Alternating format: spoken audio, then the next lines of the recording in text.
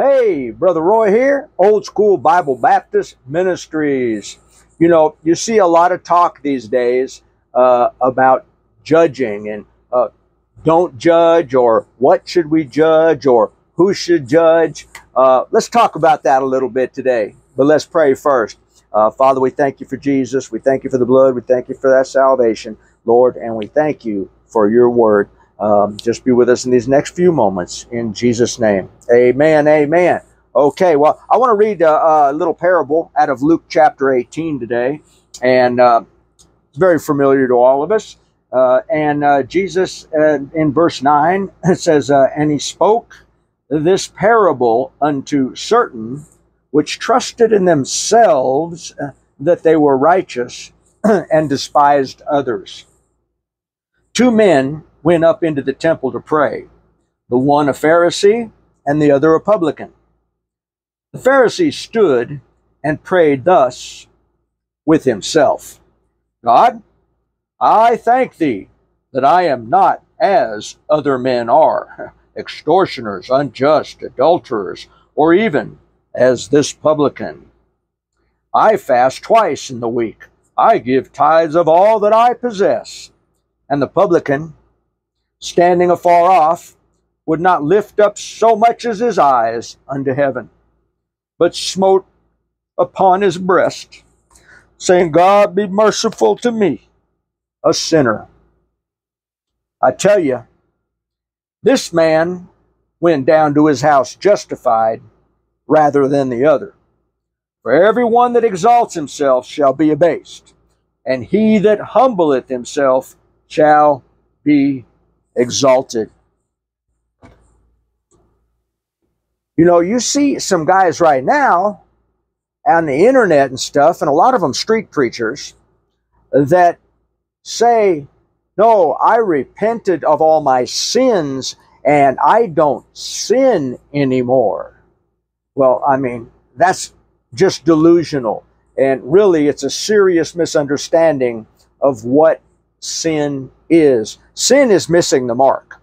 Sin is anything less than absolute perfection as found in the Lord Jesus Christ. Here on this earth, everything we do is somewhat tainted. There is no sinless perfection until we get our new glorified bodies. As long as we're in this body of sins of the flesh, we're not sinlessly perfect.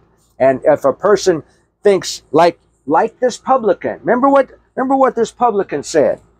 He he and he probably wasn't lying when when he says uh, um, he says I uh, he says I I give tithes of all I possess. Uh, I'm I'm not an extortioner. I'm not an adulterer. Uh, you know, he says, and, and, he's probably telling the truth. And, and, and that's what some of these people do. Well, they, uh, uh, I, I, don't break the Ten Commandments. I, I, I listen.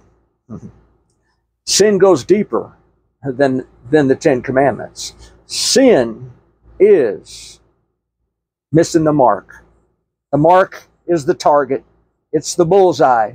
If you aren't absolutely as 100% pure as the Lord Jesus Christ, then there is sin in your physical body. And uh, so that that's one thing we wanted to look at and we wanted to address. There is no such thing as sinless perfection. Now, had had there been someone who was sinlessly perfect, he would be the one to be able to judge. And we see that um, with Jesus and the woman taken in adultery. He says, Let he that is without sin cast the first stone. And there was only one standing there without sin, and you noticed he didn't cast a stone. Amen. Now, uh, we, we, we look at things in a very worldly sense, and, and, and that's like Paul said. He said, You that judge yourselves by yourselves, uh, you're not wise. Because listen, there's always somebody worse than you. Like this, like this publican in the temple he was able to feel good about himself because he said, Well, I'm not like that guy, right? But the reason uh, that the publican, who was a sinner, he knew he was a sinner. and he was real with God, and he said, God, be merciful to me, a sinner. He didn't stand there and try to justify himself by his own works and his own behavior. He knew what he was. He knew, and he was real with God about it. And that's just how we stay right with God. We just got to be 100 with God and, and keep it real with God. Don't justify, don't make excuses. When hey, when, when, when we're in a mess, just be real. Say, look, God, this, this is what I'm in. That's what I'm struggling with. I've got a problem with. I, I need you to help me here. Woo, woo, woo. And God will work with somebody that's being real with him. Amen. So, you know, when you look at these, uh, um, you know, who could judge who, and there's always somebody better than you, and there's always someone worse than you. Uh, here's here's a good prison example. In in prison, you have general population, all right, and then over here you have protective custody. So, who was in protective custody? Well, that was snitches and child molesters and rapos, all right? So we called them touchers and tellers. So over here in protective custody was the touchers and the tellers. But now the guys in general population, you know, there, there were, uh, you know, the guys with honorable crimes, right? Uh, they, everybody, they looked down on the touchers and tellers. As a matter of fact, there was like a rule if you got anywhere near a toucher and teller and, and, and, you didn't put hands on him, then your own people would put hands on you. Uh, so I mean, it was they, they were they were considered the scum of the earth. Two, the guys in general population who were what just dopers and robbers and and and murderers and you know honorable crimes, right? So think about this. The same way that the guys in general population felt about the guys in protective custody, the touchers and tellers. Well, that's the same way honest, hardworking people out here in society think about those guys in general population the robbers, the murderers, the dope sellers, the, the what have you, the honorable criminals, right? So, so the same way they're looking at the at the PCs, the protective custody guys, that's the same way with, you know, regular people, uh, honest, law abiding members of society out here are looking at them, right? So, hey, there's always somebody better and there's always somebody worse.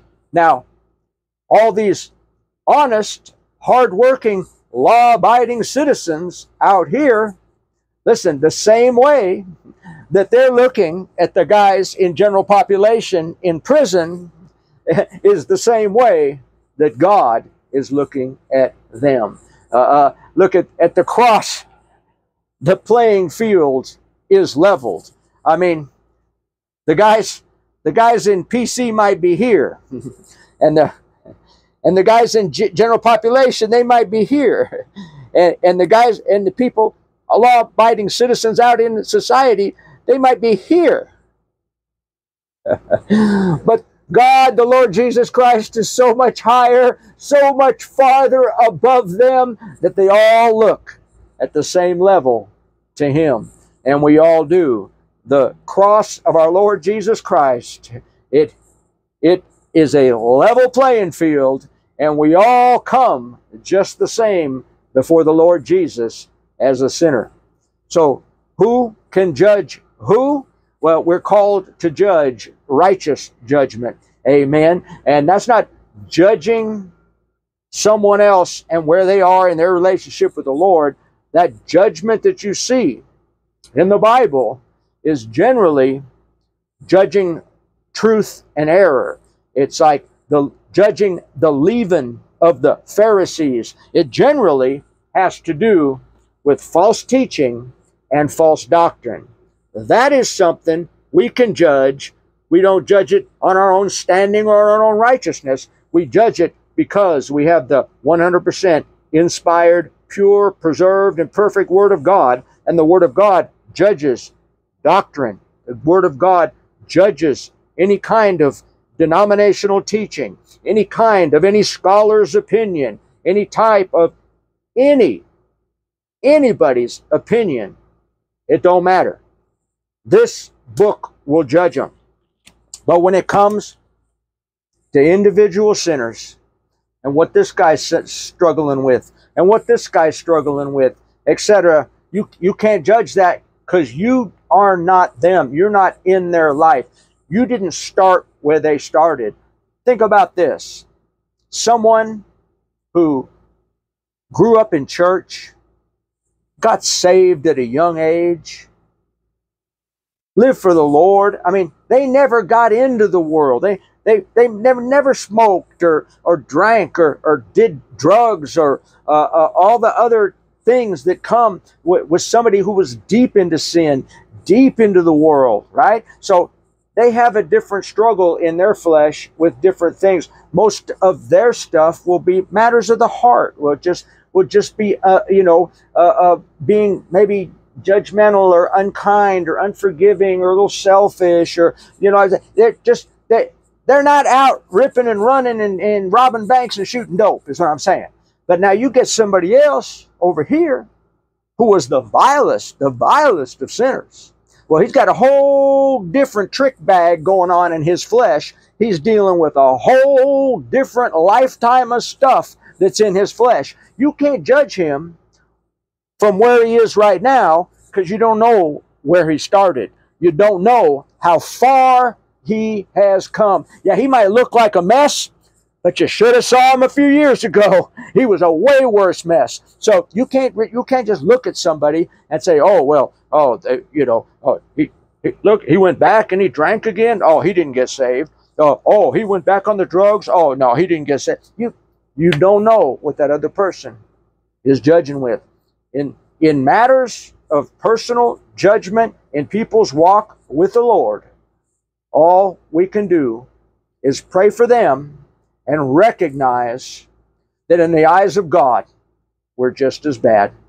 Amen. I hope this was a help to you today. God bless you. I love you, and we'll see you in the next one.